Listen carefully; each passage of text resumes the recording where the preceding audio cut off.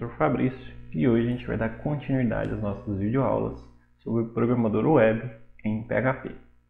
Hoje eu vou mostrar para vocês como que a gente pode resolver aquele probleminha da aula passada, que era quando eu, quis, eu queria é, mais de um resultado que o se me desse. Tá?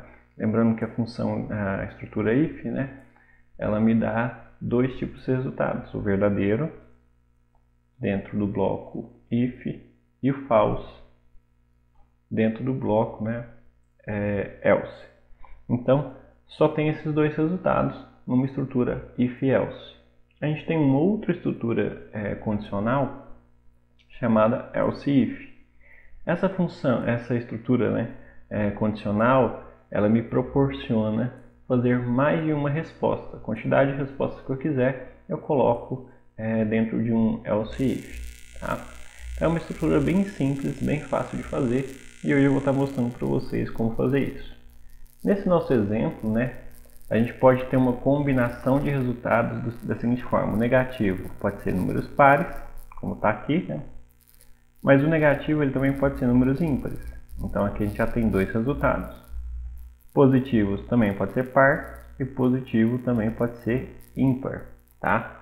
Então aqui a gente tem uma combinação de quatro respostas, tá? Então eu vou precisar de mais três é, else if, é, mais dois, né? Else if, para que ele possa me trazer esses resultados de quatro é, resultados. Na verdade a gente vai ter um quinto resultado, né? Porque o número zero ele não é par, nem ímpar, nem negativo, nem positivo. Ele é nulo, né? Então a gente vai ter também essa questão do, do zero aí. Então a gente vai ter cinco respostas, ok? Então vamos criar esse else if, né, com cinco respostas, ok?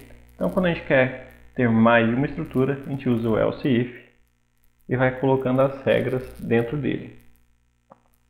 Então a primeira regra que a gente vai colocar, que a gente já tem, né, que é um número negativo par. Agora eu vou fazer um número negativo ímpar. Então vou colocar a regra.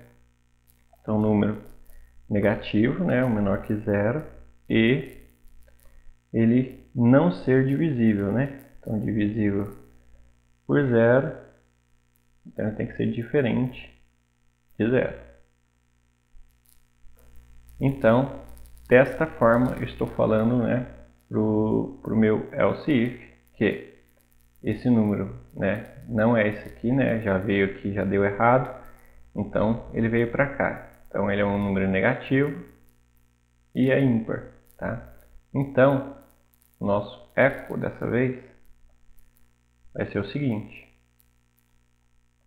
Ele é um número negativo, só que é ímpar. Ok?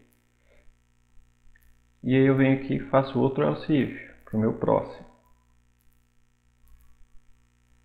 Qual é a condição que vai estar aqui, né? Dessa vez, o número vai ser é, positivo. Então, número maior que zero, vou falar que ele é positivo, e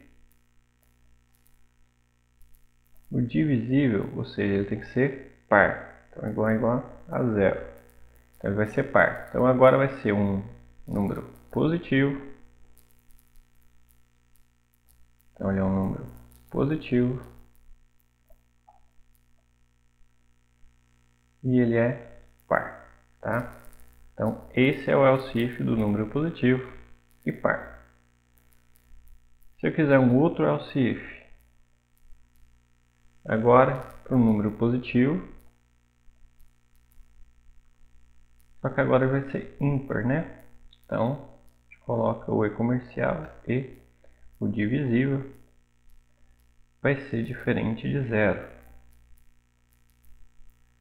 Então ele vai ser ímpar, né? Então vou pegar isso aqui. Ele é positivo e é ímpar. E como eu falei para vocês, a gente vai ter um quinto, né? Que a gente pode colocar o else mesmo para ser ele, para falar que é nulo, que é quando é zero, né? Então, ó,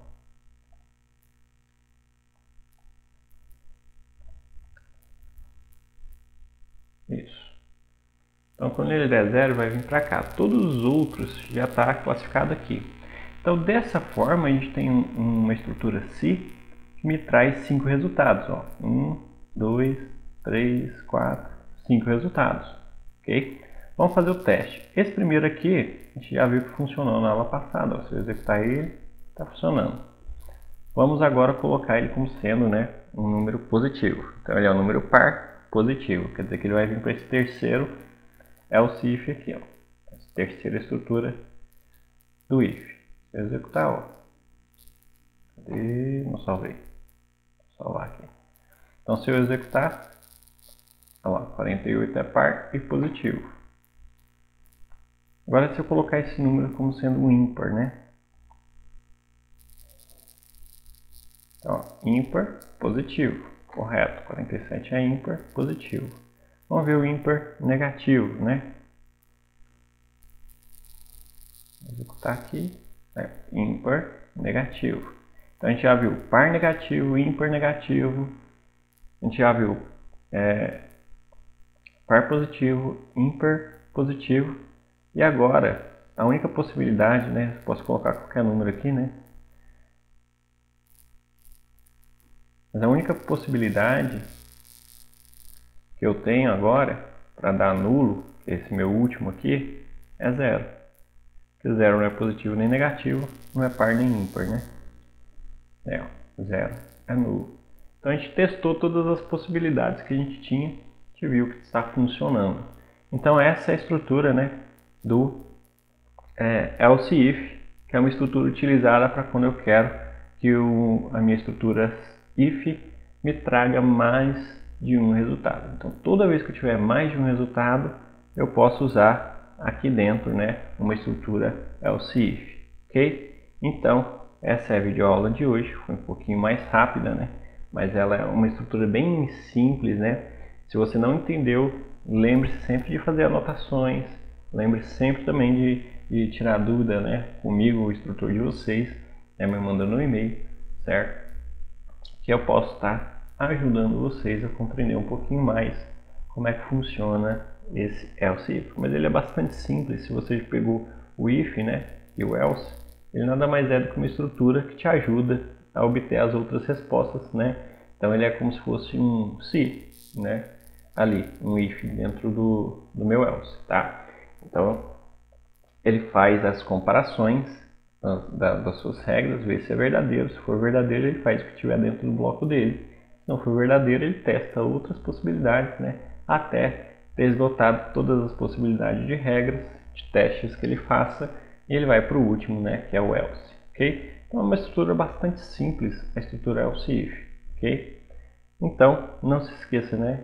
De ir lá no canal, se inscrever no canal, curtir o vídeo caso você tenha gostado e vale sempre é, lembrar que esse conteúdo que vocês estão vendo é da versão paga. Vocês não vão ver na versão gratuita do meu canal, tá?